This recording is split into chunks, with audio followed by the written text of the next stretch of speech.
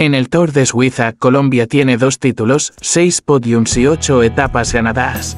Dos etapas Rigo en 2007 y 2021, con una Mauricio Soler 2011, Esteban Chávez 2014, Darwin Atapuma en 2016, Harlinson Pantano 2016, Nairo Quintana 2018 y Igen en 2019.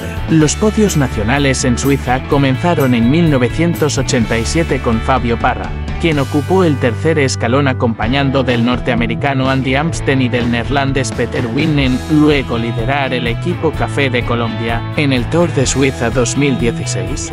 El ciclista colombiano Miguel Ángel López, conocido como Superman, logró una destacada victoria. Con solo 22 años, López se impuso en la competencia gracias a su consistencia y habilidades en las etapas montañosas.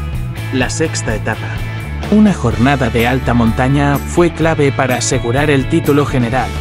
Esta victoria marcó un hito importante en su carrera, consolidándolo como una de las grandes promesas del ciclismo mundial. En el Tour de Suiza 2018, el ciclista colombiano Nairo Quintana alcanzó el tercer lugar en la clasificación general.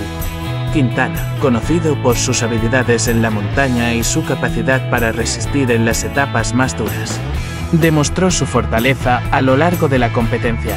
Su desempeño constante le permitió asegurar un lugar en el podio. Además ganó una etapa. En el Tour de Suiza 2019, el ciclista colombiano Igen Bernal se coronó campeón, consolidando su estatus como uno de los talentos emergentes más prometedores del ciclismo mundial. Bernal, que ya había mostrado su capacidad en competiciones anteriores. Ganó una etapa, lo que le permitió tomar una ventaja decisiva en la clasificación general. Su victoria en este prestigioso evento sirvió como preludio a su histórico triunfo en el Tour de Francia, más tarde ese mismo año, en el Tour de Suiza 2021. El ciclista colombiano Rigoberto Urán tuvo una destacada actuación, finalizando en segundo lugar en la clasificación general, además de su sólido rendimiento a lo largo de la competencia. Urán se llevó la victoria en la etapa de contrarreloj, demostrando su habilidad y potencia en esta especialidad.